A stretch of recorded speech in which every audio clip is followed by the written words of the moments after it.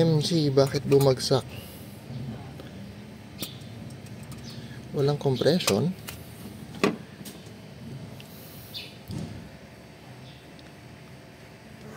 Cylinder number 2. Start.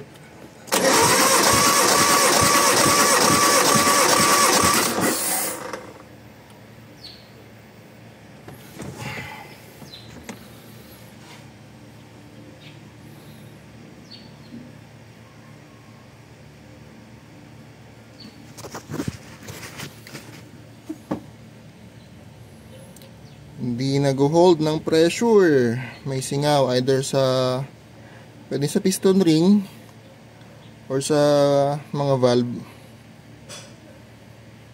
Yung piston number 1 walang compression. Itong number 2 bumababa pa rin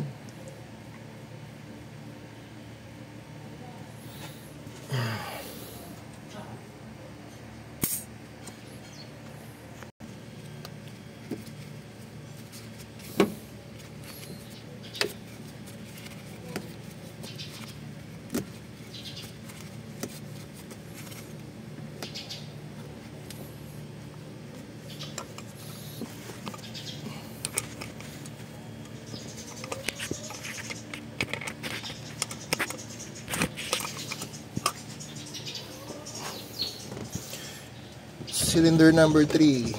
Start.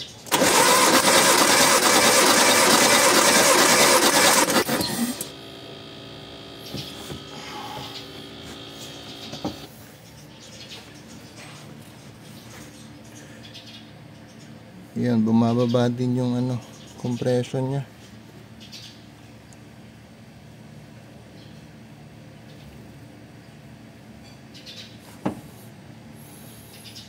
145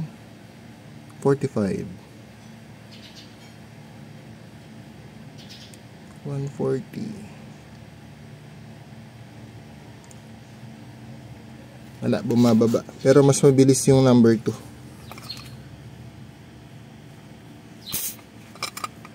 pause ko muna. Cylinder number 4 start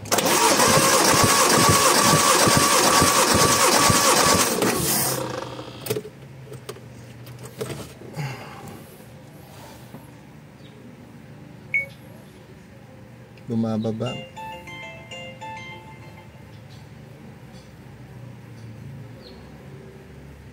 Wala rin compression. May compression pero bumababa. May leak cylinder number 4 wala na.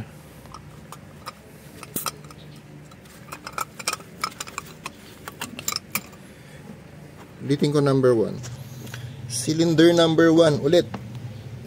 Connected sa number 1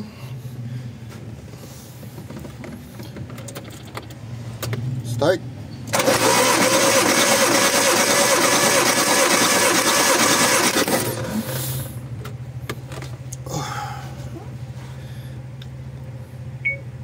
hmm.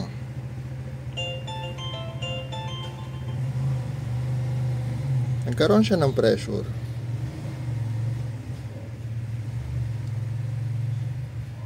Kaso bumababa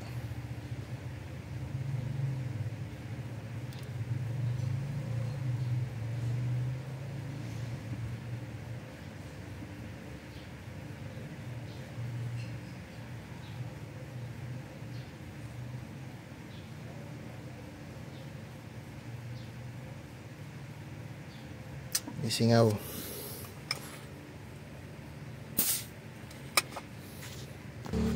Cylinder number 2 ulit.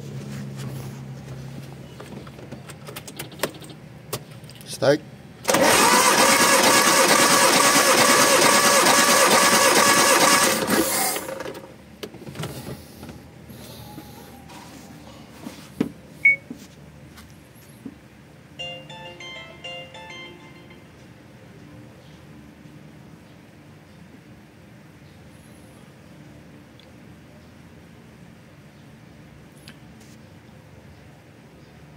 Kanina, wala pang masyadong lubrication. Ngayon, nagka, uh, uh, umikot na yung langis.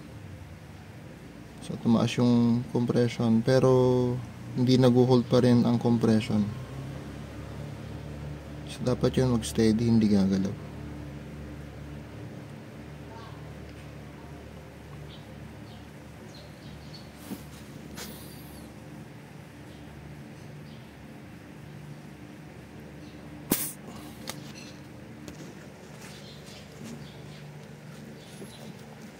Cylinder number 2 lagyan natin ng oil.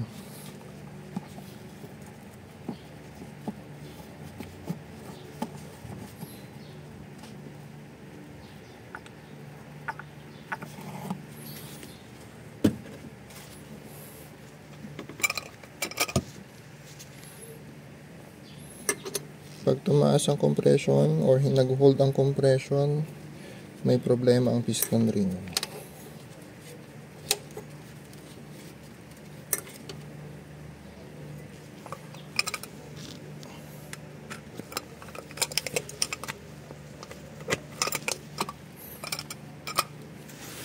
Cylinder, cylinder number 2. Start.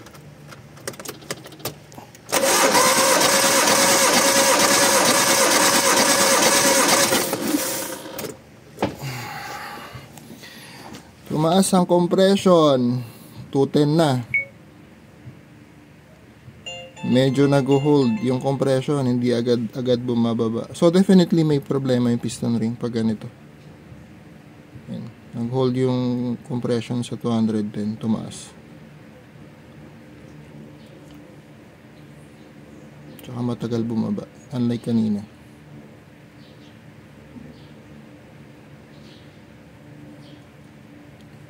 Yan, hindi siya bumababa masyado.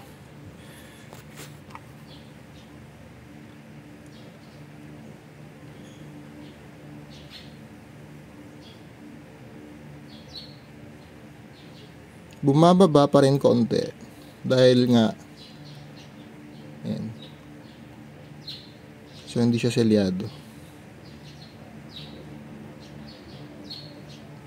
Release pressure